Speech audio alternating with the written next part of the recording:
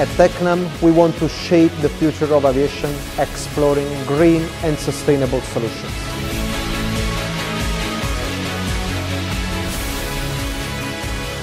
With H3PS project, we implemented on Tecnam P2010 the first parallel hybrid system in general aviation.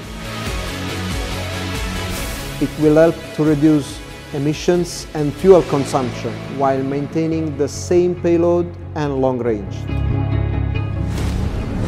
We try to stimulate innovation to reduce the impact of the air travel in the long run. Rolls-Royce is responsible for the electrical part of the parallel hybrid system, which consists of a 30 kilowatt electric machine, inverter, power electronics and the entire battery system.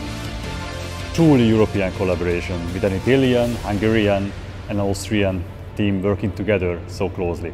Some new friendships have been made, which is at least as important an outcome than the technical results themselves.